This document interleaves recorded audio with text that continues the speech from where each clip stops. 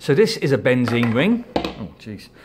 It's got six black carbons in a hexagon and six white hydrogens coming out of it.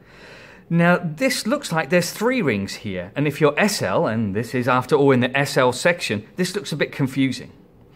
In reality, the benzene ring also has a ring of electrons around the top and a ring of electrons around the bottom of the benzene molecule.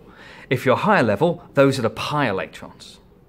But for SL, you need to know this ring at the top, ring at the bottom. Now, these rings of electrons make benzene more stable than you'd expect, so it's actually very difficult for chemicals to break this benzene ring. These rings of electrons make the benzene ring very hard to break. But you can swap out these hydrogens. Now, these electron rings at the top and bottom mean that the benzene is susceptible to electrophiles. Electrophiles are something that love electrons. So, what electrophiles do the IB want you to know about? Well, the first one is chlorine. Now, that's strange. Chlorine loves electrons. Well, I mean, each chlorine atom has quite a high electronegativity, but this is a neutral molecule. How does this neutral molecule become attracted to these negative rings?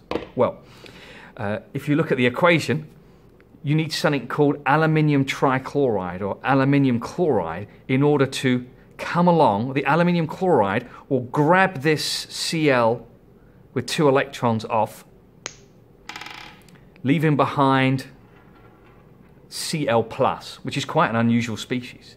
Now, this Cl plus is an electrophile. It, uh, it loves electrons. It's going to come on in and it's going to swap out with one of the hydrogens. This is called substitution. Substitution is just a posh name for swapping. And if you've got more chlorine, then you can swap out even more of these hydrogens.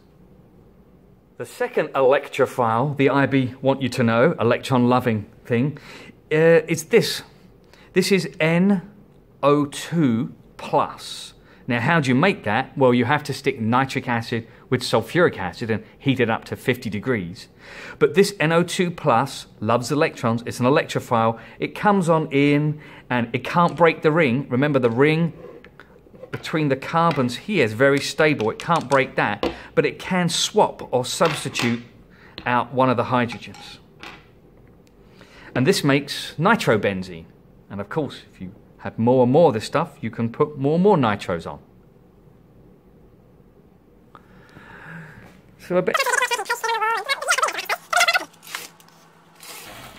Oh man. Good afternoon, Russia. But I do have a nice little board here. That's Grant Imahara from Mythbusters. I was excited when I was given this million dollar bill. Turns out it's a creationist propaganda. There's the real Dr. Atkinson and me. Oh, I was looking a bit fat in that photo. And uh, some artwork from the students. God Emperor Thornley. Killing the IB, maybe. And a rather flattering image as well. I think that kid wanted a good report for his parents.